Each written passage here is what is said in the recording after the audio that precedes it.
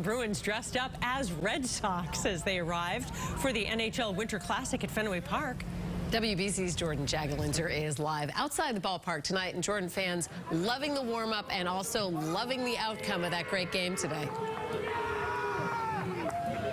Oh my gosh, I mean, what do fans have to complain about tonight? An exciting atmosphere here at Fenway. Of course, the Bruins winning the 2023 Winter Classic here at Fenway Park. And you could hear the cheers echoing throughout the city as they scored that second winning goal, eventually winning the game. And despite those mild conditions, head coach Jim Montgomery told us that it was actually perfect on the ice.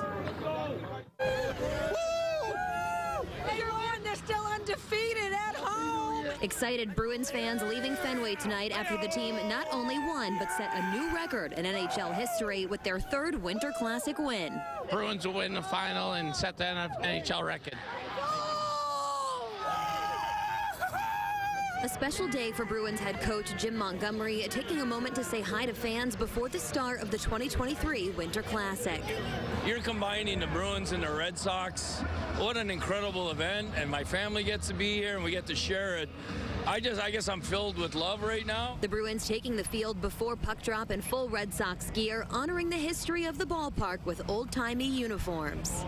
Another moment that we'll remember the rest of our lives. Adding to the excitement for fans who've waited years for the Winter Classic to return to the Bay State. Well, we tried the last time it came and we couldn't get tickets. Couldn't come in 2010, so now it's 2023, so let's do it right. The Bruins taking on the Penguins, who also had a decent amount of fans in attendance, traveling nine hours to the city of Boston to cheer for their team. We feel like we have home court advantage, too, because we've seen a lot of other Pittsburghers here, so Yins are in trouble. In between the good weather. The weather's insane. Um, you don't, no gloves. Um, barely need to wear a hat, 50 degrees. And the added perks of attending the NHL Winter Classic.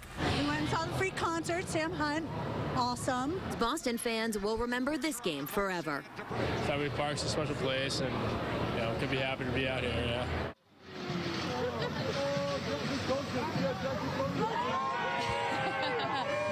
it's going to be an exciting night.